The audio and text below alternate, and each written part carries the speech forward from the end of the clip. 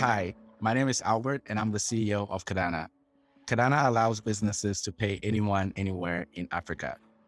Our vision is to build a world where African workers have a clear path to financial success. We're starting out with a cross border payroll solution. Through Cadana, businesses can hire compliantly across Africa. We help them to mitigate against breaking local labor laws and making statutory payments with errors. We also allow businesses to fund their payroll accounts in their local currencies and make payments to about 50 plus countries internationally. Because employees across Africa spend through multiple payment channels and also use different currencies, tracking employee spend across borders is very stressful. We make it easy for finance teams to see all of the employee expenses in one place and manage that seamlessly.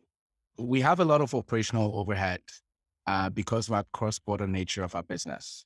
Uh, and so with 100 businesses in different countries, managing that is very time consuming from onboarding to resolving issues to uh, implementing features and managing those feature requests.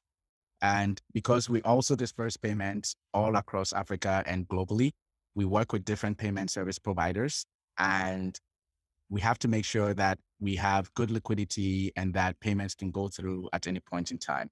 Doing that is very, very hard. And we're also constantly growing, we're evolving, we're trying different billing methods, and we're trying to see how we can evolve that over time without necessarily putting too much pressure on the engineering team. But doing that manually is a waste of time for the entire team. On the product side of things, we're aiming to move very fast. And to do that, we have to take user feedback and iterate and test new ideas. Prior to Retool, we had no dashboards to learn about our feature utilization. Um, AML, KYC, KYB management was very messy. It was also very time consuming for our marketing team to try new things, such as referrals and build notification triggers. Um, and so all of this was a bottleneck to our operations and, and marketing team. But luckily, Retool came around. Retool allows us to build critical tools without necessarily adding too much work to the dev teams. And so we have been able to build uh, business customer dashboards to see all of our businesses in one place, um, accounts to manage all of the different currencies in all different businesses.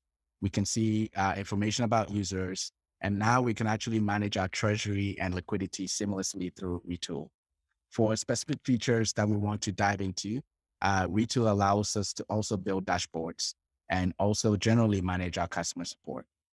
So I'm going to go in quickly and share some of our favorite tools in Retool.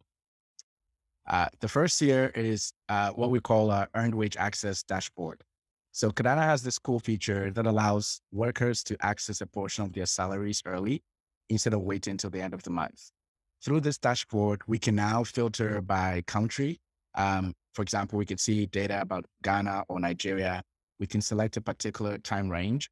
Um, and with a statistic drop um, tool, we can see various things like revenue and, and track the average amounts that people are moving on the platform. But one of the things that we really, really love about Retool is we can represent data very visually without too much work. So we've put in a lot of charts now that allows us to see the transactions that are happening in real time and are variety of charts, right? So we can now see uh, data on a transactions level. We can also break it down on a business level. And we can even see here a breakdown of the, of the different channels that employees are using to request their money early. Um, when you couple that with tables and other um, UI tools that allows you to drill down for a business or a particular user, it's just amazing right? And so with this, we're able to actually see how users are interacting with this feature, and we're able to make additive um, changes to make that experience even better. And outside of charts, we have built um, tools that allows us to also track information um, across the various businesses we serve. And so now um, our customer support and our operations team can come to this app they can see a particular business. They can take some actions that would have otherwise required a dependency on engineers.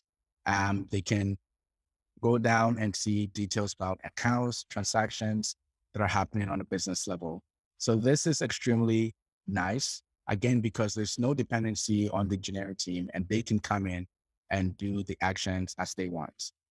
One of the things that we love about Retool is you can actually uh, aggregate different uh, apps, right, in the same sort of view. And so when an operations member logs in, they don't have to uh, move to different apps. They can just toggle.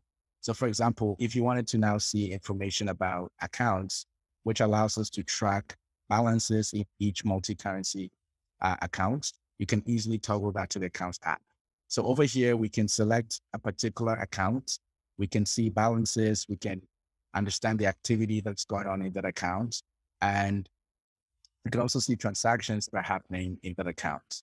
And on the user level, we can also uh, now search for users by different uh, methods. So we can search by tag, we can search by user ID, by email, and even their phone numbers. And this is incredibly helpful because when a customer support query comes in, now the customer support team has the tools, right, that they can use to resolve any issues.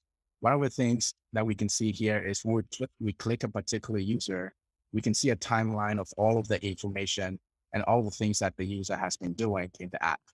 We can also see any disbursements and we can track any failed disbursements um, for that user. So that's pretty cool. Um, when you see a particular disbursement, um, over here, we don't see any issues, but you can actually click a disbursement and it's going to move you over to the disbursement app.